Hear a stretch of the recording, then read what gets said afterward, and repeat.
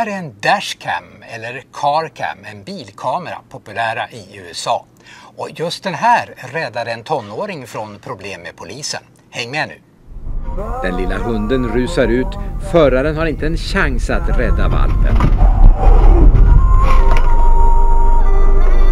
Holy shit! Med ett träd till höger och mötande trafik kan han bara tvärnita, men det räcker inte.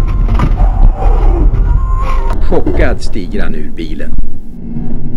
Ja, alltså jag trodde inte sån här, sån här grej skulle kunna hända mig till exempel. Eh, det är bara sånt man ser på TV.